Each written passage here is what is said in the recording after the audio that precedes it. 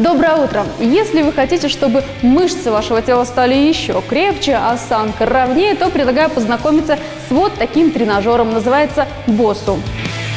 Так. Опа, оп.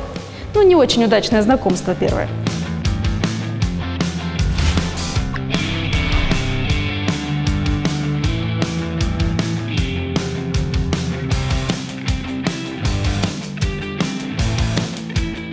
Марина Афанасьева. Вот кто дружит много лет с этим тренажером. Фитнес-тренер с 15-летним стажем не только умело стоит на балансировочной платформе, но и выполняет ряд весьма сложных упражнений.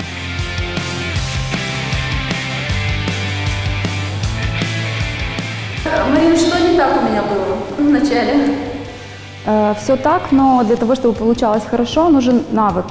Навык э, вырабатывается со временем. Времени на обучение нет, поэтому сразу в бой. Нужно сначала самого простого.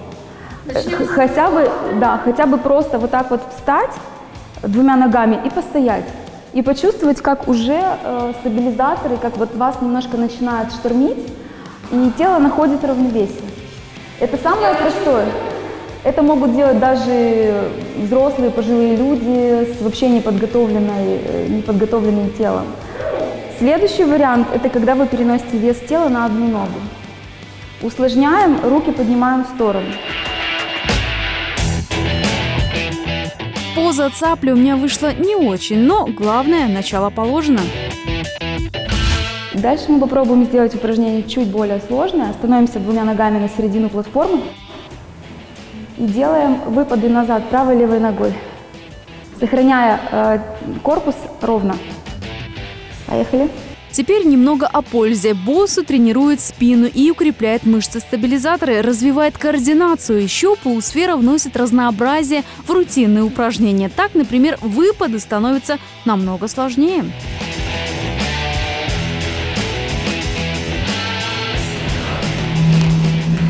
Вам там по ту сторону экрана наверняка кажется, что это очень просто. Но это не так. Мы работаем. Ух.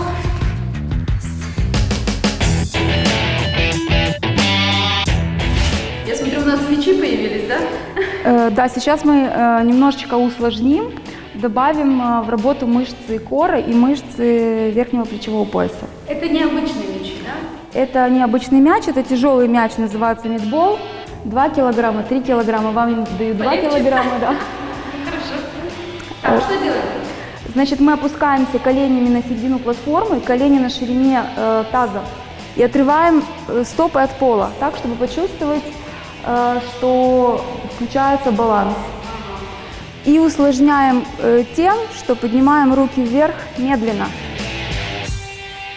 Интересный факт, боссу используют не только в фитнес-залах. Он хороший друг футболистов, хоккеистов, лыжников, баскетболистов. Вот такой полезный инвентарь.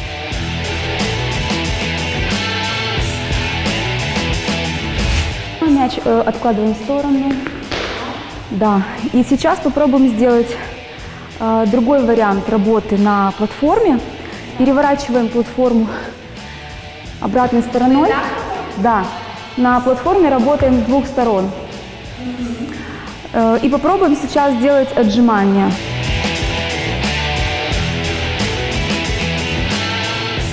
Руки трясутся, ноги напряжены до предела. Похоже, я проиграла этот бой.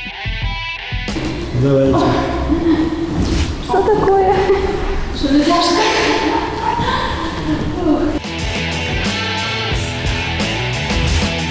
напоследок хочется сказать? В чем прелесть вот такого тренажера? Даже после тяжелой тренировки вы можете вот так вот присесть, отдохнуть и также держать баланс. Будьте здоровы!